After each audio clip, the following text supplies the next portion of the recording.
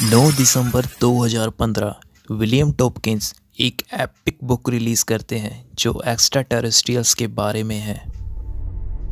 William टॉम्किंस की कहानी काफ़ी अद्भुत है। आज उनकी उम्र तिरानवे साल से भी ज़्यादा की है। अपने कैरियर के शुरुआती दिनों में वह नेवी को ज्वाइन करते हैं, जहाँ पर उन्हें यूएस गवर्नमेंट के लिए highly classified programme highest level पर काम करने का मौका मिलता है। वहाँ पर उन्हें पर्सनली रिस्पॉन्सिबिलिटी दी गई। इन्फॉर्मेशन लेने की तेईस डिफरेंट अमेरिकी जासूसों से। जो जर्मन सीक्रेट स्पेस प्रोग्राम से जुड़े हुए थे, जिसमें से एक सीक्रेट बेस अंटार्कटिका में था।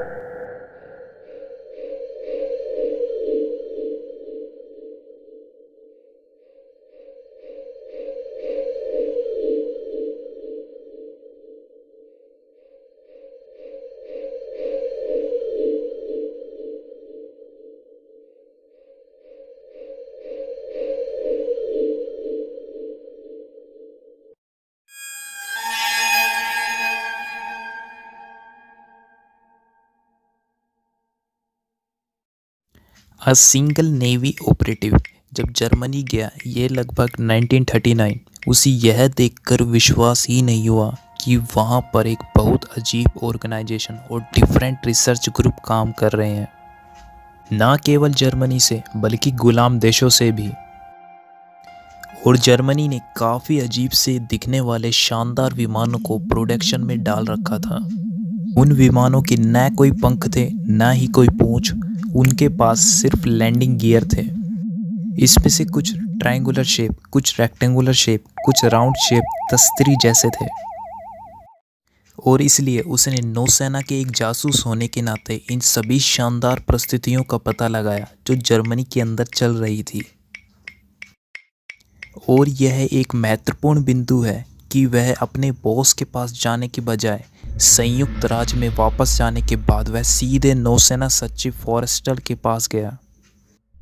फॉरेस्टल कंधे पे हाथ रखते हैं और वह बताते हैं, इस ऑपरेटिव का प्रमुख, किसी नौसेना के अधिकारी को मत बनाओ। क्या? मतलब उन्होंने किसी ऐसे व्यक्ति को चयन करने की बात कही जो कभी भी एनोपोलिस सिटी में नहीं था। अब लगभग हर नौसेना अधिकारी, चाहे वह एक स्टार या लेफ्टिनेंट कमांडर हो, वे सभी एनोपोलिस सिटी के माध्यम से ही सीखते हैं कि नौसेना के अधिकारी कैसे बने। यह पता चला है फॉरेस्टल ने बताया कि every book every book in the libraries every book in the colleges every book in the universities every book on this planet is misinformation It's misinformation. जो कि 6000 साल पहले ड्रैको रेप्टिलियंस के द्वारा शुरू किया गया था रेप्टिलियंस वास्तव में आए और कंट्रोल करने लगे और लगभग पाँच से छः हज़ार साल पहले इस ग्रह पर जो कुछ भी चल रहा था, उसमें हेरफेर करने में सक्षम होने लगे यह सच है कि उनके पास डिफरेंट मास्किंग टेक्नोलॉजी है, जिससे वे अलग अलग इंसानों जैसे दिखने में सक्षम है। लेकिन आमतौर पर उनके पास इस धरती पर अलग अलग अंडरग्राउंड बेसिस हैं, साथ ही साथ विशाल क्षेत्र अंटार्कटिका में। साउथर्न रीजन के क्षेत्र में भूमिगत गुफाओं की एक बड़ी संख्या है। बहुत ही गर्म तापमान जियोथर्मल हीट के द्वारा ये इंसानों के लिए तो बहुत गर्म होते हैं, पर ये एक परफेक्ट प्लेस है रेप्टिलियंस की कॉलोनीज के लिए। दे आर बेसिकली सिटीज़ उनमें ये लाखों की तादाद में रहते हैं। तो नौसेना के सचिव रिको बाटा का चयन करते हैं।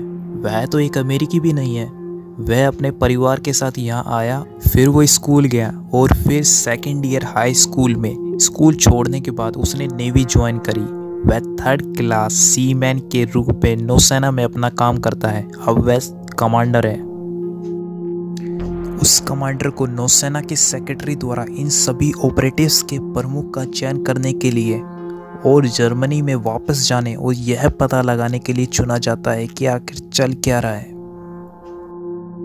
क्योंकि उस व्यक्ति को कभी भी इस ग्रह पर तकनीकी के क्षेत्र में गलत जानकारी नहीं दी गई थी। हर चीज़ जिसे हम इस्टेब्लिशमेंट द्वारा कंट्रोल की गई एजुकेशन सिस्टम में सीखते हैं उसे विशेष रूप से दिमाग को सच्चाई से दूर रखने के लिए डिज़ाइन किया गया है Physics is wrong. Medicine is wrong. History is wrong. Everything we are taught in textbooks is mainly wrong. और यह उद्देश्यपूर्ण तरीके से किया जाता है इसलिए हम समझ नहीं पाते कि हमारे शरीर को कैसे स्थानांतरित किया जाए, हमारे शरीर को क्या खिलाया जाए, अतीत में वास्तव में हमारे साथ क्या हुआ था, टेक्नोलॉजी वास्तव में इन दिनों क्या क्या कर सकती है। इन सभी चीज़ों के बारे में अगर हमने सीखा तो हम खुद को सशक्त बनाने में मदद करेंगे। तो वास्तव में यह समझने में हमारी मदद करेंगे कि वास्तव में हमारी वास्तविकता क्या है।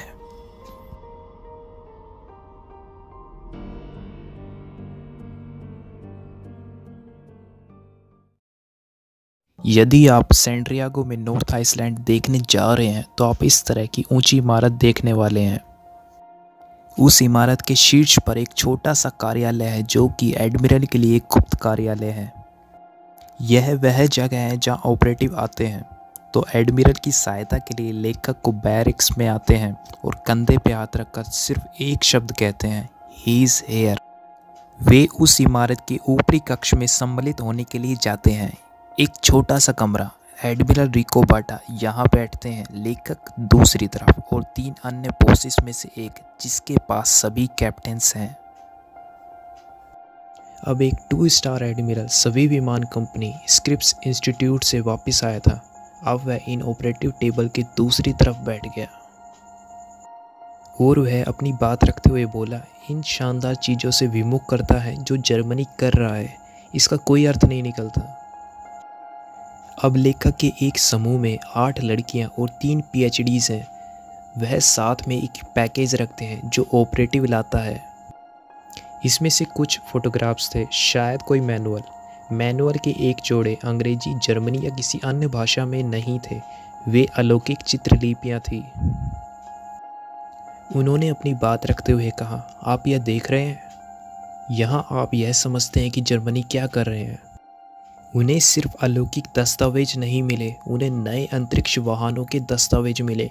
यहाँ एक, यहाँ दूसरा, यहाँ अनदर वन वे इन्हें अंदर ले जाते हैं और दिखाते हैं कि इसे कैसे चलाना है। इसलिए उन्होंने उन्हें एक गुप्त प्रयोगशाला में रखा। जिन विमानों को डिज़ाइन किया जा रहा था, उनके सिर्फ़ धड़ था, न ही पंख, न पूछ, हाफ़ एरोप्लेन, हाफ़ स्पेसशिप्स। पहली स्पेसशिप यूएस नेवी की अटैक क्लास सबमरीन्स थी। उन्होंने उन कार्यक्रमों को एक साथ रखा जो आकाशगंगा में ही नहीं, बल्कि आकाशगंगा से बाहर निकल गए। द मिलिट्री इंडस्ट्रियल कॉम्प्लेक्स जब वे वर्ल्ड वार टू के बाद नाजियों से प्राप्त की गई बहुत सी तकनीकों का परीक्षण कर रहे थे, साथ ही साथ अलौकिक भी। जब वे परीक्षण कर रहे थे तो उन्होंने इस तकनीक को अपनाया। एक रेगुलर सबमरीन और फिर इसे उन्होंने हमारे वायुमंडल से बाहर निकाल दिया। यह पहली बार था कि वास्तव में एक इलेक्ट्रोग्रेविटिक तकनीक का उपयोग करके हमारे वायुमंडल में एक वैसल को उड़ाने में सक्षम थे। कारण यह है कि उन्होंने एक पनडुब्बी का उपयोग किया, क्योंकि वे स्वयं सेल्फ एनक्लोज थी। उस पर कार्य करने वाले कर्मचारी छः महीने या उससे ज़्यादा की यात्रा अपनी सभी आपूर्तियों के साथ जाते थे।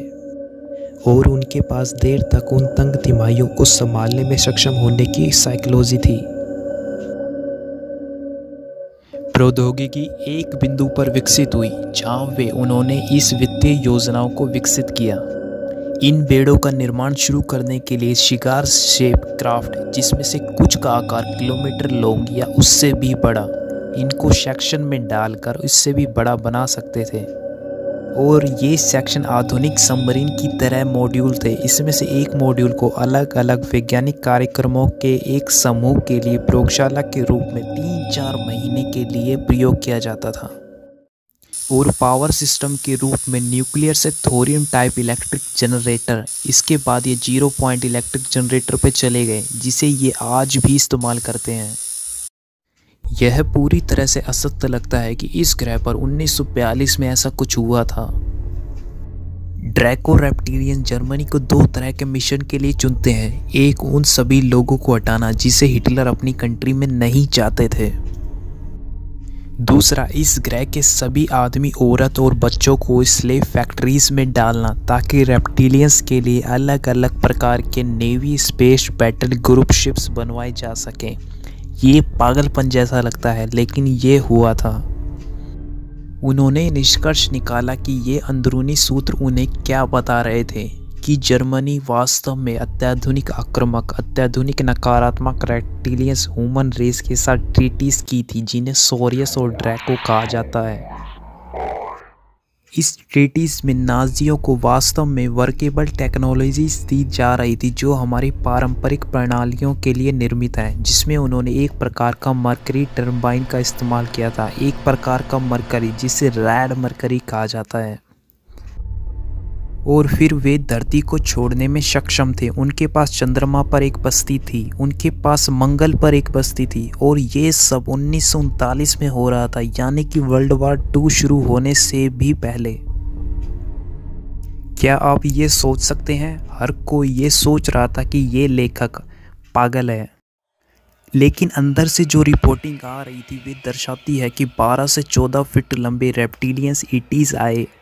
दी बैड स्मेल असल में वे जर्मन्स को एडवाइस कर रहे थे कि इन चीज़ों को कैसे बनाया जाए। अलग अलग वेरियस बेसिस में इंक्लूडिंग डेट इन अंटार्कटिका